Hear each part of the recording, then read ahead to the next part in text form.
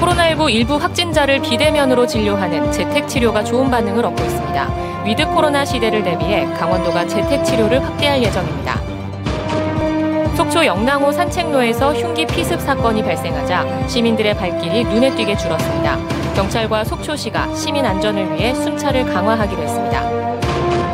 최근 10년 새 고령화 등으로 인해 동해안 어민이 30% 가까이 줄었습니다. 어가 소득도 높지 않아 어촌 소멸이 빨라지고 있는데 현실에 맞는 지원 체계가 필요해 보입니다. 춘천 레고랜드 놀이시설이 거의 들어서 사업 공정률이 99%에 달하고 있습니다. 내년 어린이날 공식 개장할 예정인데 현장을 취재했습니다.